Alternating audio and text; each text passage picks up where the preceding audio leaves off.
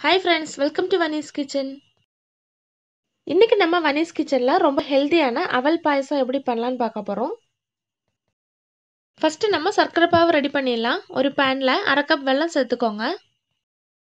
கூடவே அரை கப் தண்ணி. வெல்லம் நல்லா கரைஞ்சதும் ஸ்டவ் ஆஃப் பண்ணிடலாம். ஒரு பேனில் ஒன்றரை டேபிள் ஸ்பூன் நெய் சேர்த்துக்கோங்க. நெய் நல்லா சூடானதும் கொஞ்சம் முந்திரி சேர்த்து வறுத்துடலாம்.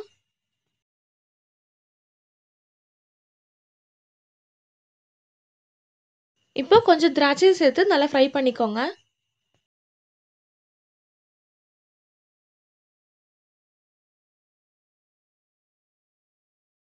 இதே நெய்யில் ஒரு கப் அவல் சேர்த்து நல்லா ரோஸ்ட் பண்ணிக்கோங்க.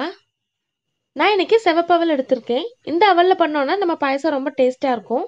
நீங்கள் வெள்ளை அவல் கூட எடுத்துக்கலாம். இப்போ பாருங்கள் அவல் நல்லா கிறிஸ்பியாக இருக்குது இந்த டைமில் மூணு கப் காய்ச்சின பால் சேர்த்துடலாம்.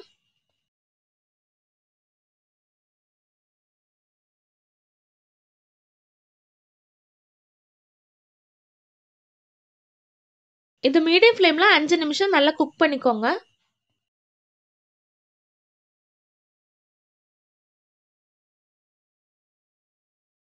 பாருங்க நம்ம அவல் நல்லா வெந்துருச்சு. இப்போ நம்ம வடிகட்டின சர்க்கரை பாவை சேர்த்துடலாம். சர்க்கரை பாவு சேர்த்ததுக்கப்புறம் இது கொதிக்கக்கூடாது நல்லா சூடானா மட்டும் போதும். கால் டீஸ்பூன் ஏலக்காய்த்தூள் சேர்க்குறேன். கடைசியாக வறுத்து வச்சுக்கிற முந்திரி திராட்சை சேர்த்து ஸ்டவ் ஆஃப் பண்ணிடலாம். அவ்வளோதான் நம்ம டேஸ்டியான அவல் பாயசம் ரெடி ஆயிடுச்சு. கண்டிப்பாக எல்லோரும் ட்ரை பண்ணி பாருங்கள் இந்த வீடியோ உங்களுக்கு பிடிச்சிருந்தா லைக் பண்ணுங்கள் ஷேர் பண்ணுங்கள் மறக்காமல் கமெண்ட் பண்ணுங்கள்